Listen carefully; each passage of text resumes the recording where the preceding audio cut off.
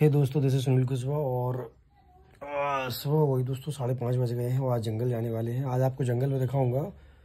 दोस्तों, केवल आपको मैं मतलब जंगल की नेचुरलिटी दिखाऊँगा। आज पूरा ब्लॉक टाइप का नहीं है, लेकिन आपको जंगल इतना अच्छा दिखाने वाला हूँ कि आप कहोगे कितना सुंदर जंगल होगा।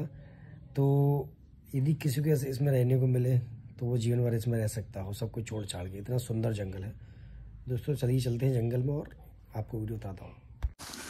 हे दोस्तों फ़िलहाल जंगल में आ चुके हैं। बहुत ही घना जंगल है और मेरे पीछे ये हमारे एक साथी है इसको मैंने कैमरा दे के रखा है।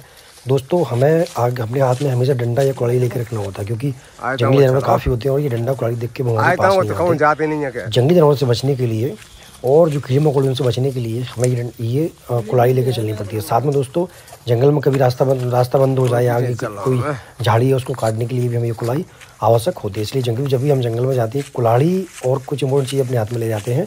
दोस्तों, ये जंगल है, ये करदई का, धावड़े का और खैर का और गुज्जन का, इसका मिक्स ये मतलब मिक्स फॉरेस्ट है। यहाँ सारे प्रकार के पौधे मिलते हैं।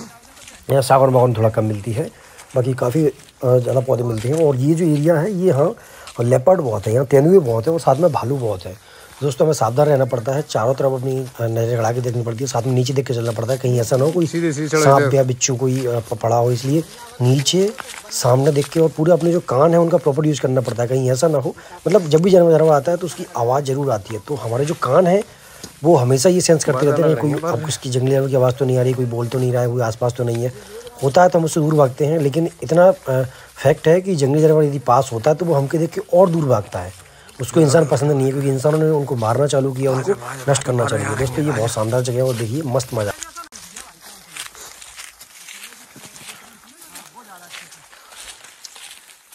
पर की थक गया मैं तो भैया साथियों हम एक घाटी उतर रहे हैं और ये खतरनाक घाटी है तो मैं आगे देख जाके देखता हूँ रास्ता है कि नहीं है। रास्ता नहीं होगा तो हम वापस आके हमें फिर एक पहाड़ चढ़ के दूसरी हमें फिर दूसरी पहाड़ चढ़ के उसके नीचे हमें घाटी में जाना होगा। फ़िलहाल दोस्तों लग रहा है कि रास्ता यहाँ से बिल्कुल नहीं है ऐसा लग रहा है कि रास्ता बंद है। तो अभी देखते हैं दोस्तों कि आगे की क्या कंडीशन बनती है।